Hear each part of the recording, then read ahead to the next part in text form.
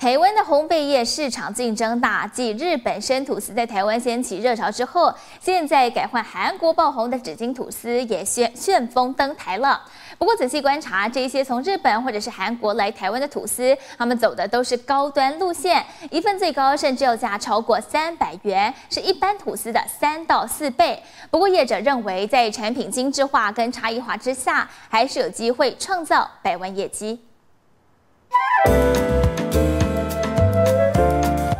的正方外形，表皮烤到呈现焦糖色泽，但可别眨眼，因为惊喜在这里。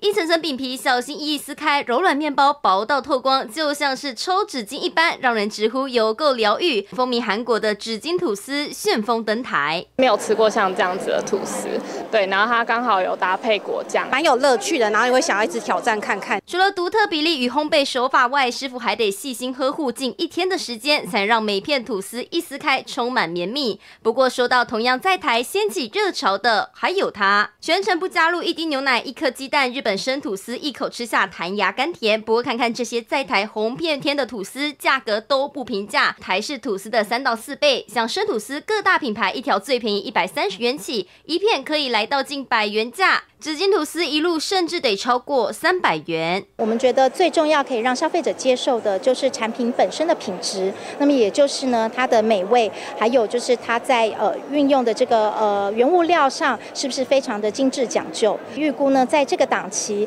可以有数百万的这个业绩。烘焙业市场竞争大，看准台湾人喜爱求新求变，高端吐司要靠精致差异化，抢攻每年高达六百亿产值的烘焙商机。记者。傅一文有才能台北采访报道。